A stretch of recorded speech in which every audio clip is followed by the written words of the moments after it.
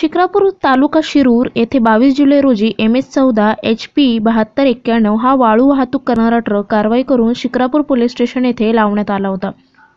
Shikrapur police स्टेशनमधील एका police कर्मचाऱ्याला खोडसळपणाने पुरावा नष्ट केल्याचा प्रयत्न केल्याप्रकरणी सेवेतून निलंबित करण्यात आले.